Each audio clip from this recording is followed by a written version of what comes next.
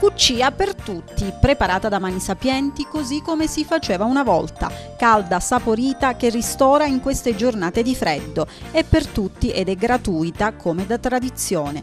L'assaggio della cuccia ha avuto inizio ieri pomeriggio e si protrarrà fino alle ore 20 di questa sera.